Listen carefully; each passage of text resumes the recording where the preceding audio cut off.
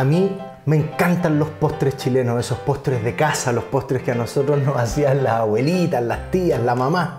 Y uno de esos, que hoy día se cocina muy poquito lamentablemente, no porque nos guste, sino que porque se ha olvidado de a poquito la receta, es el arroz con leche, el arroz con leche tradicional chileno. Se come en muchos países, pero el nuestro es muy rico y muy especial y hoy día se los voy a enseñar a hacer.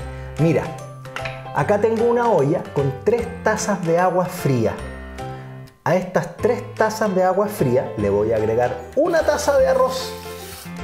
Le voy a agregar canela en rama y le voy a agregar una cáscara grande de naranja. Además, voy a agregar un tarro de leche condensada. No voy a ocupar azúcar para esta preparación. ¿Y por qué le agrego agua? Porque generalmente cuando lo hacemos solo con leche, producto del calor se evapora toda la leche y por una taza tenemos que ocupar demasiada leche. Hoy día lo que se va a evaporar es agua y el punto de cremosidad se lo vamos a dar al final con dos tazas más de leche. Vamos al fuego. Ya estamos en el fuego. Revuelve al principio. Esto es muy importante para que no se pegue. Hazlo a fuego fuerte. En el momento que logre el hervor, dale a fuego despacito. ¿Cuánto nos vamos a demorar? Aproximadamente 25 minutos. Recuerda ir revolviendo. Si tú ves que al cabo de un tiempo se va secando, anda agregándole lentamente las dos tazas de leche que habíamos reservado hasta lograr el punto de cremosidad. Paciencia, ya vas a ver con la cremosidad y el sabor que te va a quedar este maravilloso arroz con leche.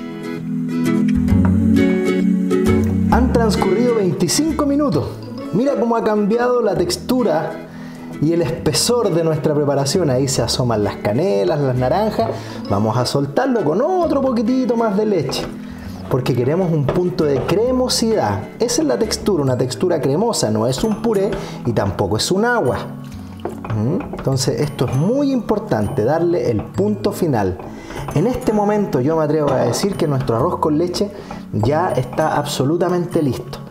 Lo revolvimos constante y permanentemente, cada 2 o 3 minutos y a fuego bajo, porque yo no quiero esos grumos de arroz y quiero que el arroz quede suave, blando, que se deshaga entre la lengua y paladar. Por eso le gusta a los niños, a los jóvenes, a los adultos y también a nuestros abuelitos. Estamos listos, lo vamos a apagar y lo vamos a dejar enfriar durante aproximadamente 3 horas. Aquí no hay regla para servirlo. Hay personas a las que les gusta tibio y otras como a mí que nos gusta a temperatura ambiente. Hay otras a las que también les gusta muy frío. Cómelo como quieras. Momento final, el momento de los aplausos. Mi arroz con leche ya está a temperatura ambiente, que es como a mí me gusta comerlo. Lo voy a servir en un pocillo, en esos pocillos en los que me lo servían a mí cuando chico y harto. Yo pedía que me dieran harto, por favor, porque me encantaba. Y como mi mamá me quiere mucho, siempre me daba una buena cantidad. ¿Cómo me lo servía ella? Con un poquito de canela en polvo, que este es el aroma tradicional.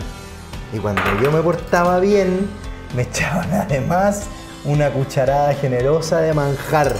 Manjar en tarro que también hacía mi mamá. Este es un postre maravilloso, te aseguro que te van a aplaudir, pero te lo doy firmado, por favor entusiasmate y hazlo. Si te gustó, te pido un favor, dale un me gusta y así nos aseguramos que mucha gente está disfrutando y cuéntale a tus amigos de este canal para que también todos puedan aprender a cocinar sin secretos. Disfruta este dulce y maravilloso arroz con leche. Muchas gracias por venir.